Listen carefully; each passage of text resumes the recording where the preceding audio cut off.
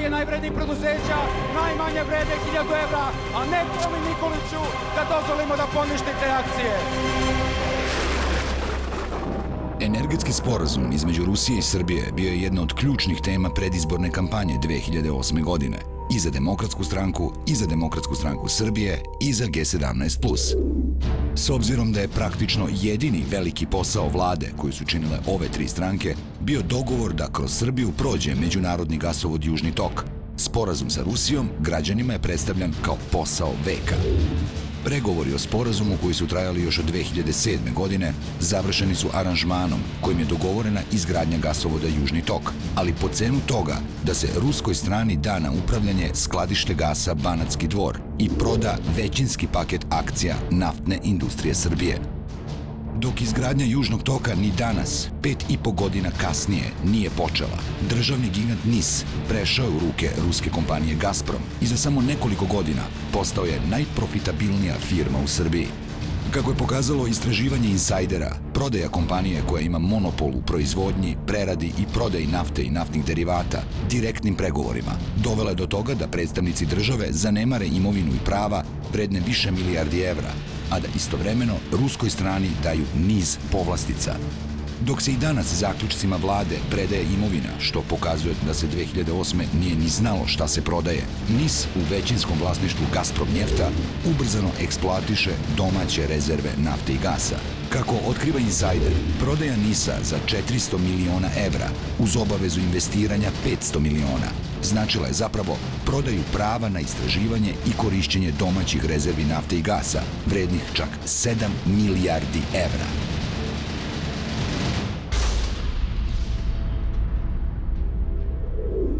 Sve dosadašnje vlade od 2005. do danas, u čijem sastavu su bili predstavnici Demokratske stranke, Demokratske stranke Srbije, Socijalističke partije Srbije, G17+, i sada Srpske napredne stranke, svojim odlukama energetsko tržište su gotovo potpuno predali ruskoj državnoj kompaniji Gazprom.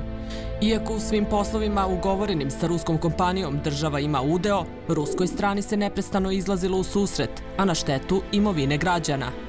Povlašćen položaj koji Gazprom danas ima garantuje nekoliko međudržavnih dokumenata, od kojih je najvažniji energetski sporazum, potpisan 2008. godine. Energetski sporazum, kako je to građanima Srbije predstavljeno, trebalo je da znači da će kroz Srbiju proći međunarodni gasovod Južni tok, a da će građani zbog toga biti sigurni kada je snabdevanje gasom u pitanju. Međutim, potpisivanje ovog sporazuma pratilo je potpisivanje protokola o prodaji NISA, Ova dva dokumenta zacrtala su način na koji će se privatizovati nacionalna naftna industrija. Bez tendera na kom bi se utvrdila realna tržišna vrednost kompanije, Srbija je Gazprom njeftu, čerki firmi ruskog Gazproma, kontrolu nad jednom od najvećih domaćih kompanija prodala direktnim pregovorima po ceni od 400 miliona evra. Novi vlasnik je bio u obavezi da ispoštuje program modernizacije NIS-a vredan 500 miliona evra. Investiciona obaveza definisana je u uvodnim napomenama ugovora o prodaji NIS-a. Investiciona obaveza označava obavezu kupca da obezbedi iznos od 500 miliona evra NIS-u putem zajmova za posebnu namenu u cilju sprovođenja programa rekonstrukcije i modernizacije. Gazprom Njeft je obavezu ispunio tako što je naftnoj industriji Srbije pozajmio novac za modernizaciju, a NIS je u obavezi da novac vrati uz kamatu. U finansijskim izveštajima NIS-a pozajmica se prikazuje kao dug prema Gazprom Njeftu u iznosu od 500 miliona evra. Kredit se otplaćuje na svaka tri meseca, sve do 15. maja 2023. godine. Od ove pozajmice, NIS je pod Gazprom Njeftom modernizovao rafineriju nafte Pančevo. Sigurno je da se može vrlo lako dokazati da je cena nisa veća od toga. Ali ponavljam, nešto vredi onoliko koliko može da donese profita ili onoliko koliko neko hoće za to da plati. A što mislite, ko je odredio tu cenu? Znate li? Ne znam. Neko ko nije znao ove informacije koje sam vam ja sada rekao ili neko ko je možda to čak i znao, ali je Mislim, neću da ostavim nikakvu sumnju, meni to nije jasno. Nije mi jasno da neko... Siguran sam da bi Rusi platili više. Mislim da su bili svesni, nisu oni mala deca pa da ne znaju sad šta prodaju. Naravno da su bili svesni, bili su svesni kolike imamo rezerve nafte i gasa i koliko vremenski dugo može to da se eksploatiše i koliko će to vrediti na tržištu i naravno da su bili svega svesni. I u redu je da prodamo i tržište i rezerve za 400 miliona. Pa znate šta? Šta mislite, je li to bila odokativna procena? Apsolutno odokativna ocena diletanata i ljudi koji se ne razumiju u svoj posao. Ekipa emisije Insider prikupila je brojna dokumenta od kojih mnogi nose oznaku tajnosti, a koji zapravo pokazuju da je NIS, po svemu sudeći, prodat ispod realne vrednosti. Naime, paket od 51% akcija NIS-a je pre prodaje ruskoj strani procenjivan na između 600 miliona i 1,1 milijardu evra. Osim toga, istraživanje insajdera je pokazalo da je Srbija Gazprom njeftu zajedno sa NIS-om na upravljanje predala domaće rezerve nafte i gasa, vredne čak 7 milijardi evra. Srbija ima dokazane rezerve od 10,5 miliona tona nafte i 4,35 milijardi kubika gasa. Prema sadašnjim cenama nafte od oko 100 dolara za barel, vrednost domaćih rezervi nafte kreće se oko 7,8 milijardi dolara. Što se tiče gasa, prema cenama po kojima NIS prodaje domaći gas Srbija gasu od 371 dolar za 1000 kubika, Domaće rezerve gasa danas vrede oko 1,6 milijardi dolara. To znači da je ukupna vrednost dokazanih domaćih rezervi nafte i gasa oko 9,4 milijarde dolara, odnosno oko 7 milijardi evra. Kada govorimo o pregovorima o prodeji NISA, to je, jedna od, to je jedan od ključnih grešaka koja je učinjena u pregovorima, a to je što je Naftagas, dakle tadašnji deo NISA koji se bavio samo istraživanjem, eksploatacijom nafte i gasa i geotermalnih izvora na kraju krajeva, što je prodat. Naftagas je velika šteta što nije ostao, ako ne većinskano partnerski ili bar da je izdvojen u državni. Zato što mislim da bi to državi Srbije omogućilo da ima koliko toliko tu naftnu bezbednost koju danas svakako nema. Znači nismo prodali u pravom smislu te reči rezerve, ali smo dali mogućnost da jedna kompanija kompletno eksploatiše u tom određenom vremenskom periodu i naftu i gas. Ne samo da Gazprom ima prava na rezerve nafte i gasa vredne 7 milijardi evra, već je povlašćen i kada je u pitanju plaćanje dažbina za korišćenje ovih rezervi. Rezerve nafte i gasa su kao i sva ostala rudna i prirodna bogatstva vlasništvo države Srbije, odnosno pripadaju svim građanima, Firme mogu da koriste ove resurse uz plaćanje naknade, takozvane rudne rente, koja se određuje kao procenat od zarade na iskorišćenim rezervama. Rudna renta u svetu se kreće od 10 do preko 30 odsto u nekim zemljama. Rudna renta u Srbiji prema važećem zakonu o rudarstvu iznosi 7 odsto. Međutim, za NIS važi stari zakon, po kom rudnu rentu plaćaju samo 3 odsto od prihoda. Energetskim sporazumom između Rusije i Srbije, ruski partneri su zaštićeni od negativnih promjena u porezkom sistemu Srbije. U ovom dokumentu se navodi da se na kompanije koje su obuhvaćene sporazumom neće odnositi bilo kakvo pogoršanje uslova oporezivanja do dostizanja isplativosti dogovorenih projekata. U slučaju NISA, ova klauzula je iskorišćena da bi kompanija pod novim vlasnicima nastavila da plaća rudnu rentu po starom zakonu. Rudna renta od 3% važila je dok je NIS bio državno preduzeće. Održavanje tako niske rente bio je interes države, kako bi što više novca ostalo u NIS-u, između ostalog i zbog toga što su se sredstva ovog preduzeća godinama koristila kao paralelni budžet. Srbija ima gotovo najnižu, najniži procenat rudne rente u svetu. Dakle, vi imate sve države od Albanije koja ima 12, Slovenije 10, Hrvatske isto nešto 10 ili 12, Mađarske da je to progresivno. Kod nas je 3%. Insider je na osnovu zakona o slobodnom pristupu informacijama od Ministarstva rudarstva dobio podatke o uplatama NIS-a na ime rudne rente. Prema ovom pregledu, iznosi koje NIS uplaćivao povećavao se iz godine u godinu kako je rasla eksploatacija domaćih rezervi. 2012. godine NIS je na ime rudne rente uplatio 2,7 milijardi dinara, odnosno 23,7 miliona evra. Iako je tokom te godine u Srbiji važio novi zakon o rudarstvu sa povećanom rudnom rentom od 7%, NIS je naknadu platio po starom zakonu, u kojem je rudna renta iznosila 3%. Da se na NIS primenjivao važeći zakon, ta kompanija bi državi platila oko 56 miliona evra, odnosno 32 miliona evra više. E sada, sama rudna renta nije u nadležnosti Ministarstva energetike. Nego, je, nadležnosti- nažalost, na nadležnosti drugog ministarstva. Rudarstva. Tako je, Ministarstva rudarstva. U aktuelnoj vladi ne postoji jedinstven stav o pitanju rudne rente, dok Zorana Mihajlović, ministarka energetike, smatra da naknada treba da bude povećana, Milan Bačević, ministar rudarstva u čijoj je nadležnosti ova oblast, smatra da rudna renta za NIS ne treba da se menja sve do isteka važenja sporazuma, odnosno do 2038. godine. I Zorana Mihajlović i Milan Bačević funkcioneri su Srpske napredne stranke. Uprkos prvobitnom obećanju, Bačević nije pristao na intervju za Insider. U tim sporazumima nismo precizirali kako će se one eksploatisati, tako da i danas imamo dvije štete. Prvo što e, se vrlo malo naplaćuje njihova eksploatacija našeg izvora, a drugo što oni to ubrzano rade, što će onda u cijelini manje izvući nafte iz zemlje. Dok rudnu rentu plaćaju po povlašćenoj ceni, NIS je za proteklih pet godina značajno povećao eksploataciju domaćih rezervi.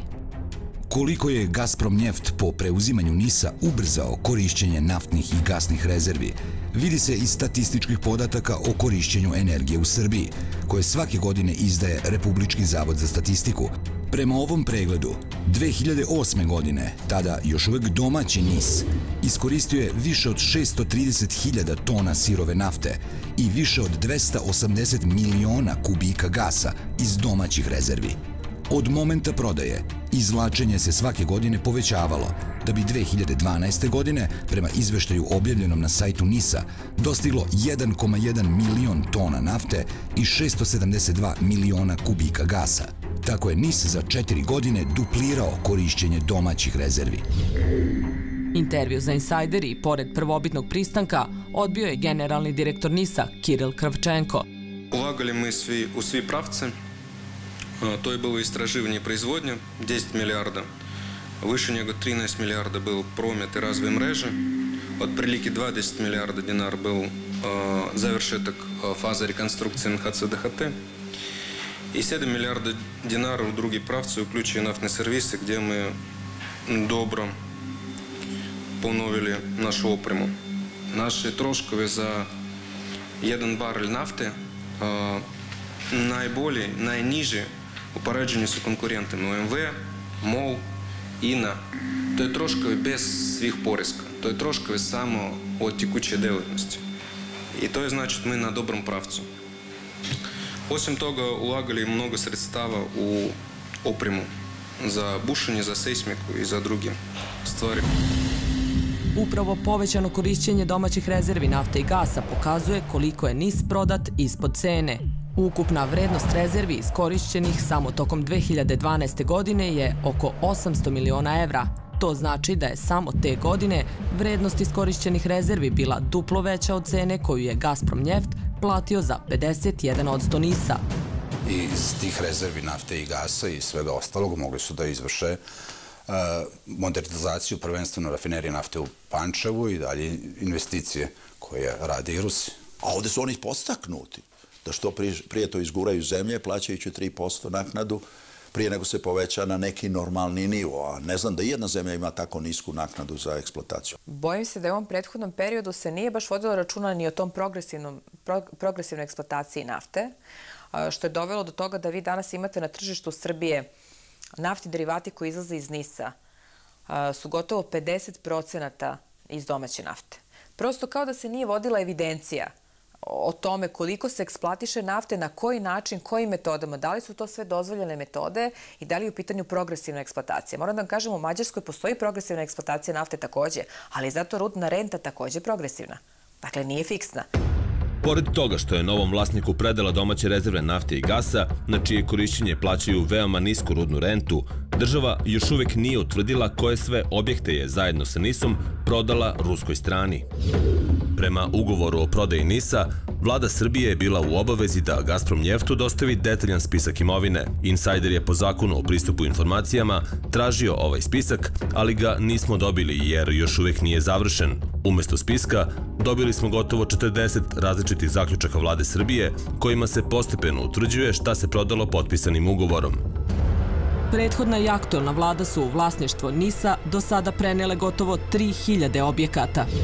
To su hiljade kvadrata poslovnog prostora na ekskluzivnim lokacijama u Beogradu i Novom Sadu, nekretnine, stotine benzinskih stanica po najmanjim mestima u Srbiji, ali i reprezentativne benzinske pumpe, poput Dejtonke na Novom Beogradu, stotinak bušotina nafte i gasa širom Vojvodine, motel Adaševci, kompletno postrojenje rafinerije u Pančevu sa više od 500 objekata, kompletno postrojenje rafinerije u Novom Sadu, postrojenje rafinerije gasa u Elemiru, na desetine rezervoara za naftu i tečni gas, skladišta, stovarišta. Sve to je vlada svojim zaključcima zvanično prenela u vlasništvo NISA posle potpisivanja kupoprodajnog ugovora i taj posao još nije završen. Kako vi objašnjavate to da vlada i dan danas utvrđuje imovinu NIS? Pa zato što je nesposobno bila da to uradi u vreme kada je trebalo da uradi. Pa molim vas, pa vi znate u vašem džepu šta imate. Da kažemo, kako onda možemo kažemo da smo znali šta prodajemo?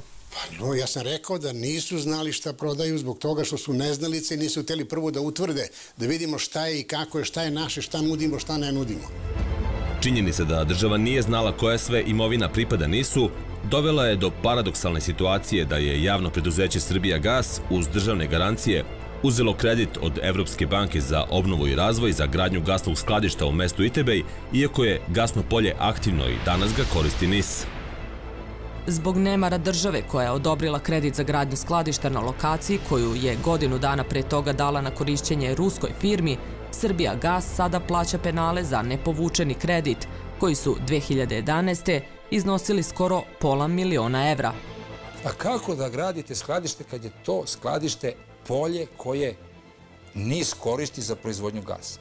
Vi biste da biste tu napravili gasno polje, odnosno skladište. Šta je skladište? Skladište je gasno polje koje je već u velikoj meri, da kažem, iskorišteno.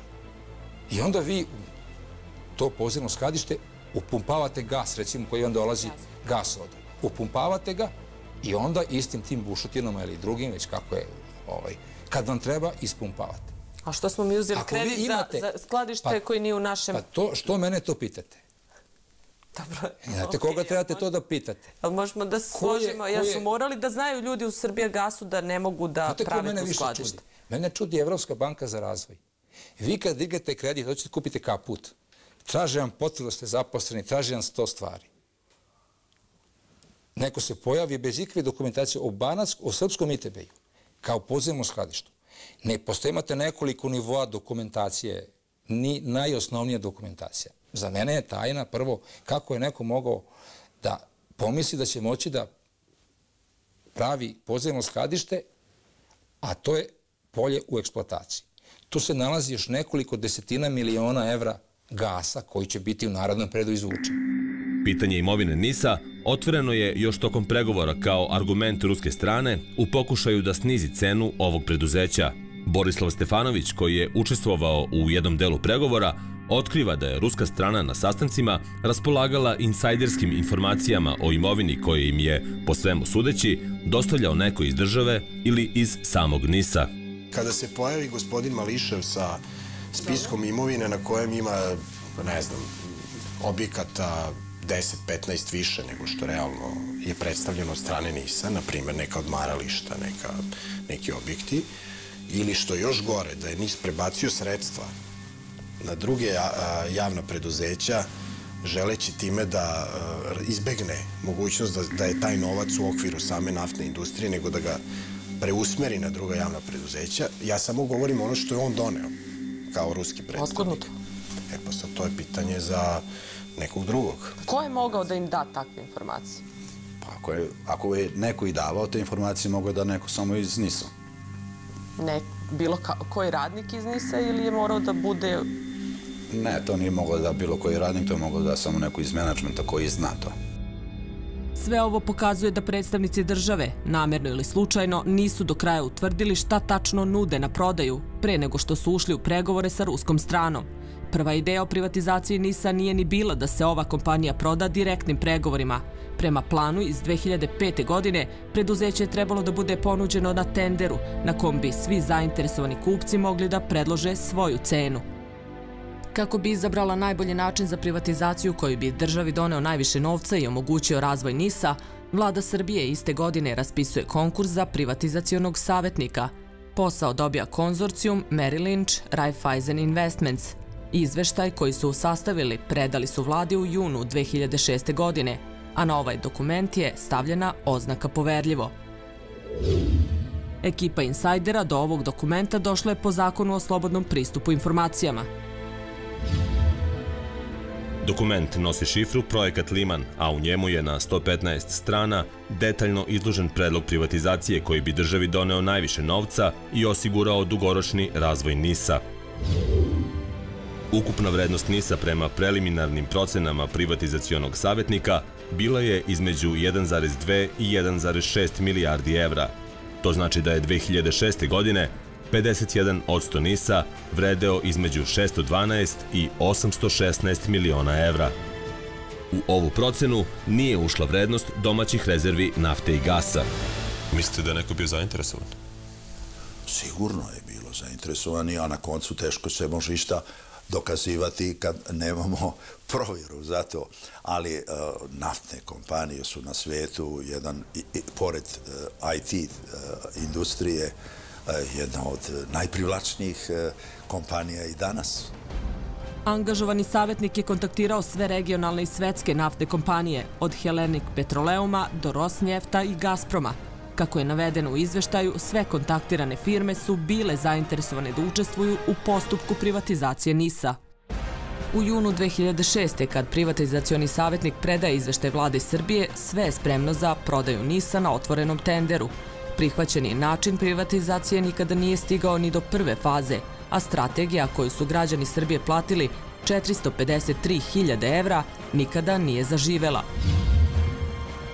Projekat Liman nije realizovan jer su predstavnici jednog od mogućih kupaca NISA, ruskog Gazproma, vladi Srbije izneli predlog da se nacionalna naftna kompanija proda u direktnim pregovorima, kako bi zaozvrat kroz Srbiju prošao međunarodni gasovod Južni tok. Dakle, Rusija je sa svoje strane imala interes da dobije naftnu kompaniju NIS, kojom će polako ući u Evropu, To je potpuno legitimno, ali Srbija morala da ima svoj interes i da zna šta ona hoće u tom energetskom sporazumu. A verujem da su mogli bolje da prođemo. U oktobru 2007. delegacija Gazproma predvođena Aleksejom Millerom, predsednikom upravnog odbora, dolazi u Beograd na odvojene sastanke sa Vojislavom Koštunicom, tadašnjim premijerom, i Borisom Tadićem, tadašnjim predsednikom. Tada je i predložena kupovina NISA u okviru sveobuhvatnog energetskog aranžmana između Rusije i Srbije. Gazprom razmatra kao jedinstven kompleksni projekat pitanja učešća kompanije u privatizaciji naftne industrije Srbije, razvoj gasno-transportnog sistema u okviru projekta Južni tok i mogućnosti podzemnog skladišta gasa za obezbeđivanje isporuka u Republiku i tranzita u treće države. Ovo je samo tri meseca kasnije i bilo konačno rešenje koje je precizirano u energetskom sporazumu. Vojislav Koštunica već godinama odbija da govori za Insider, a na ovu temu intervju je odbio i bivši predsednik Srbije, Boris Tadić. Sećam se tog prvog razgovora u mojoj predsedničkoj kancelariji kada smo kreirali ideju e, dolaska Gazproma na srpsko tržište u Srbiju, a nakon toga i širenje Gazproma u čitavom regionu. Danas te početne razgovore, tu predstavu koju smo tada zajednički kreirali i ostvarujemo. Pored predsednika i premijera, sastanke na temu energetskog sporazuma imao je niz državnih funkcionera Srbije od 2006. do kraja 2007. godine. Svoju ulogu u dugim pregovorima imali su Aleksandar Popović i Predrag Bubalo, tada ministri iz Demokratske stranke Srbije, kao i Božidar Đelić, ministar iz Demokratske stranke. U pregovorima je učestvovao i Srđan Bošnjaković, direktor NISA i kadar Demokratske stranke Srbije. Bošnjaković je, nakon prodaje NISA, ostao u ovom preduzeću i danas je zamjenik generalnog direktora zadužen za investicije. Već nekoliko meseci Bošnjaković ne odgovara na zahtev za intervju. Iako nisu bili zvanični pregovarači, u pregovorima su prema medijskim izveštajima učestvovali Branko Radujko, šef kabineta predsednika Srbije Borisa Tadića i Dejan Mihajlov, generalni sekretar vlade Vojislava Koštunice. Radujko je odbio snimanje, a u razgovoru sa novinarima Insajdera je rekao da je samo jednom bio u Moskvi tim povodom radi priprema za Tadićevu posetu. On je od prošle godine imenovan na funkciju direktora NISA za regionalne projekte. Dejan Mihajlov je takođe odbio intervju za Insider, a tek nedavno je u skupštinskoj raspravi o zakonu o Južnom toku potvrdio da je imao važnu ulogu u ovim pregovorima. Ja lično sam učestvovao u ovom procesu vrlo aktivno i ja sam ponosan zbog toga i smatram da je ovo jedan dobar posao za Republiku Srbiju. Dva meseca nakon ovih sastanaka, u decembru 2007. ruska strana državnom vrhu Srbije dostavlja predlog energetskog sporazuma koji obuhvata saradnju na izgradnji južnog toka kroz Srbiju, rusku kontrolu nad jedinim domaćim skladištem gasa i prodaju naftne industrije Srbije. Vladu Srbije u tom momentu vodi koalicija DSS-a, DS-a i G17+. Mirko Cvetković, kadar DS-a, bio je ministar financija i član radne grupe za saradnju sa Rusijom u privredi i energetici. Da vam kažem, ja nisam uh, sasvim u toku sa tom ponudom, bio sam nešto bolestan, dobio sam dokumentaciju, ali koliko sam video na njima piše da je to strogo poverljivo, tako da ne znam da li je uopšte korektno da se oko toga priča. Ne bi, ne bi komentarisao. Mlađan Dinkić, tadašnji ministar ekonomije i regionalnog razvoja, povukao se iz pregovora jer je smatrao da je cena koju je ponudio Gazprom suviše niska. Zato što mi se vezuju ruke. Zato što predloge koje daje Ministarstvo ekonomije da treba tražiti normalnu cenu za NIS, neki članovi grupe su odbijali. Kao da, je, da će se Rusiju uvrediti ukoliko im se traži normalna cena za NIS ako se ide preko neke cifre koja je, ne znam, 400-500 miliona evra. Mirko Cvetković i Mlađan Dinkić su odbili intervju za Insider. Za ceo aranžman predstavnicima države praktično je trebalo samo dva meseca. Detalji o tome šta se dogovara i šta država Srbija prodaje ostali su do poslednjeg dana potpuno skriveni od javnosti. I zato će onaj sporazum koji će biti predočen našoj javnosti biti poznat tek tada kada bude u Moskvi potpisan, pošto to njegov definitivan oblik. Ovo što sada imamo jeste nacrt sporazuma. Pet godina od potpisivanja sporazuma, predstavnici Srbije još uvek nisu otkrili ko je predložio cenu za NIS i zbog čega u vrednost ovog preduzeća nisu uračunata prava na eksploataciju kao najvredniji deo kompanije. To je vrlo jeftino. Znači, to je, NIS je prodat. Jeftin je, NIS vredi više. Daćemo odmah dokaze. Imate preko 200 pumpi u vlasništvu NIS-a. I cena da napijete takvu pumpu je sigurno 5 do 10 miliona evra. Možda milion evra, možda. Znači, ne može niko da napravi pumpu za manje pare. A imate preko 200 pumpa. Pa realna cena je bila onako da je NIS prodat na tenderu. Da je raspisan tender i onda bi se pokazala prava vrednost uh, NIS-a. Smatramo da od onoga što je NIS do sada zaradio eksploatišući naftu i gas, može veoma dobro da se vidi kolika bi ta cena zaista bila i s obzirom na promet derivata na teritoriji Republike Srbije. Kriv je e, sistem koji je omogućio da se u direktnoj prodaji prodaja NIS.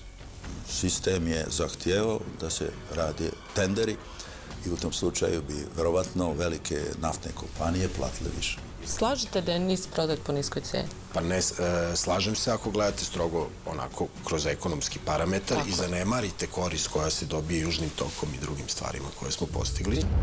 Na pitanje insajdera ko je predložio cenu od 400 miliona evra za 51% akcija NIS-a, iz Direktorata za informacije Gazproma je odgovoreno da je cena postignuta u pregovorima dve strane, ali i da je prilikom određivanja cene uzet u obzir i status NIS-a u momentu prodaje. Na primer, visina akumuliranog duga NIS-a prelazila je 1 milijardu dolara. Kompanija nije bila profitabilna, proizvodnja sirove nafte i prodaja su se smanjivali iz godine u godinu. Investicije u razvoj i modernizaciju tehnoloških resursa nisu bile implementirane. Sve ovo uticalo je na reputaciju srpske kompanije. Ko što nije odnos dobar bio, tako je verovatno i cena mogla da bude mnogo bolja. Na kraju krajeva procena NIS-a koje su rađene su pokazale da je NIS procenjen na mnogo više nego što jeste. Činjenica takođe jeste u tom trenutku je NIS beleži ogromne gubitke, da danas ne beleži te gubitke. Iako je već imala izrađenu i plaćenu strategiju privatizacije sa procenom vrednosti NIS-a i iako je već potpisala dokument u kom se navodi cena po kojoj će se kompanija prodati, Vlada Srbije pod izgovorom da se cena može promeniti naručuje novu procenu vrednosti domaćeg preduzeća. Građani Srbije su tako platili dodatnih pola miliona evra preduzeću Deloitte da proceni vrednost kompanije čija je cena već bila dogovorena. Ugovor s Deloitom potpisan je u avgustu 2008. Naručilac posla je Ministarstvo financija na čijem je čelu Mlađan Dinkić. Iako je nova procena formalno naručena da bi se na osnovu tržišne vrednosti NISA odredio koji procenat akcija NISA će se podeliti radnicima, Izjave Mlađana Dinkića iz tog perioda pokazuju da je procena naručena kako bi se koristila kao dodatni argument u pokušaju da se u pregovorima s Gazpromom promeni dogovorena cena. Prema proceni angažovanog konsultanta na osnovu finansijskih izveštaja, izveštaja o imovini, kao i upoređivanjem sa vrednostima sličnih preduzeća u regionu, NIS je 30. juna 2008. godine, na dan na koji je rađena procena, na tržištu vredeo 2,2 milijarde evra. To je, kako se navodi u izveštaju Deloitte, bila fair tržišna vrednost kompanije. To znači da je 51% vlasništva u NIS-u vredeo 1,12 milijardi evra, dva i po puta više od cene koja je dogovorena. Nažalost, mi imamo dosta preduzeća koja su više puta procjenjivana, gdje su ogromni novci dati, a gdje ničeme nisu služile procjene.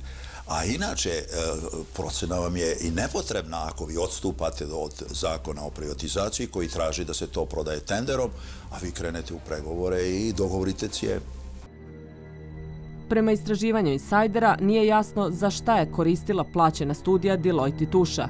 Energetski sporazum kao takav prihvaćen je velikom većinom u Skupštini Srbije. Gotovo sve parlamentarne stranke izjasnile su se za, osim Liberalno-demokratske partije, Lige socijaldemokrata Vojvodine i Saveza vojvođanskih Mađara. Izglasavanje sporazuma značilo je ulazak u još jednu rundu pregovora, koju su vodili predstavnici vlade DS-a, G17+, i SPS-a. Na čelo tima za pregovore o realizaciji međudržavnog sporazuma, koji je bio već potpisan i ratifikovan u Skupštini, vlada postavlja Nebojšu Ćirića, kadar G17+, koji je odbio intervju za Insider. Ćirić i svi članovi tima iz stranke G17+, povukli su se na kraju pregovora uz objašnjenje da ne žele da učestvuju u razgovorima u kojima nije moguće popraviti cenu za NIS. Na čelo tima vlada imenuje Borislava Stefanovića iz Demokratske stranke. On je jedan od redkih koji je pristao da o celom aranžmanu govori za Insider. Zašto to nije išlo na tender? To je prva stvar. Znači, postoje neki poslovi države koji ne moraju ići na tender, zato što imaju zaista ogroman značaj. Ovo je jedan od takvih poslova. Moj nije cilj da ja bez ikakve kritike branim ovaj posao. Ja moram da kažem da smo mi zaista uh, u velikoj meri nasledili tu stvar, ali smo je kao ozbiljna država i vlada sproveli do kraja, smatrajući da je ipak korist kasnije veća od onoga što se u tom momentu dešava. Ja sam pregovarao nešto što je već politički dogovoreno u Moskvi i tu su određeni neki parametri, da će biti južnog toka, da će biti cena 400 miliona plus 500 miliona evra. Dakle, 400 miliona u kešu i 500 miliona investicijama i da će uh, biti jasno navedeni uh, rokovi do kada treba stvari da se realizuju. NIS je danas najuspešnija kompanija u Srbiji. Prema analizi Agencije za privredne registre za 2012. godinu, od preko 90.000 preduzeća u Srbiji, NIS je na prvom mestu i po ostvarenim prihodima i po ostvarenoj dobiti. Redakcija Insajdera je na osnovu zakona o slobodnom pristupu informacijama od Agencije za privredne registre dobila sve finansijske izveštaje NISA od 2004. godine do prodaje 2008. godine. Ovi finansijski izveštaji, čak i ako su pravljeni da prikažu bolje stanje nego što je zaista bilo, najbolje pokazuju koliko je država loše upravljala NIS-om – Prema kupoprodajnom ugovoru, NIS je Gazprom njeftu prodat sa stanjem na dan 31. decembra 2007. godine. Prema zvaničnom finansijskom izveštaju za 2007. godinu, NIS je te godine ostvario prihod od oko 2 milijarde evra i čistu dobit od 66,3 miliona evra. Pet godina kasnije, prema poslednjem finansijskom izveštaju koji je objavio NIS za 2012. godinu, Ovo preduzeće pod novom upravom takođe imalo 2 milijarde evra prihoda, ali je i u sve programe rekonstrukcije i modernizacije ostvarilo čistu dobit od 400 miliona evra, šest puta više nego 2007. godine. Znate zašto je NIS poslao sa gubitkom?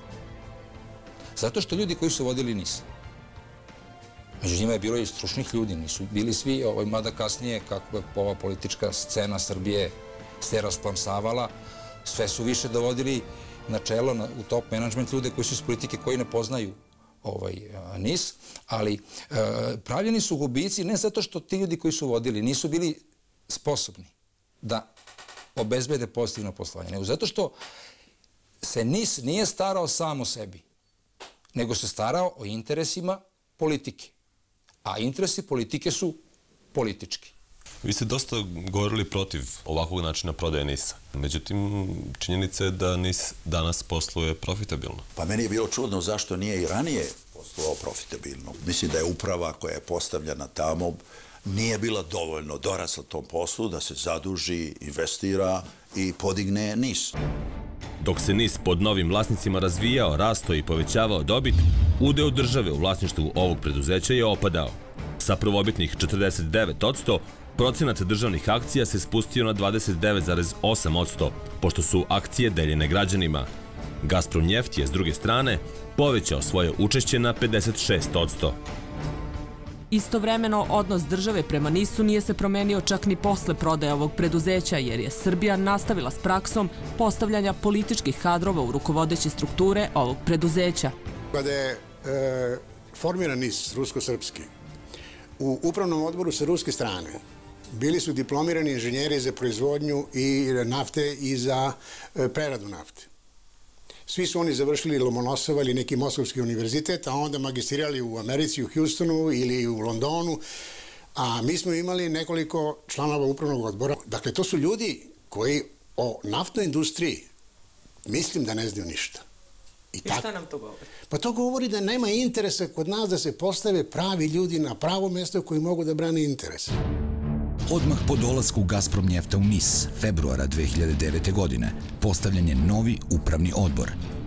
Srpski članovi odbora su bili Biserka Jeftimijević Drinjaković, tada savjetnica Borisa Tadića, Dušan Petrović i Dušan Elezović, funkcioneri Demokratske stranke, i Nikola Martinović, stari kadar SPS-a i samog NIS-a. U aprilu 2009. poslednje mesto u upravnom odboru za predstavnika Srbije popunila je Danica Drašković, kadar SPO-a.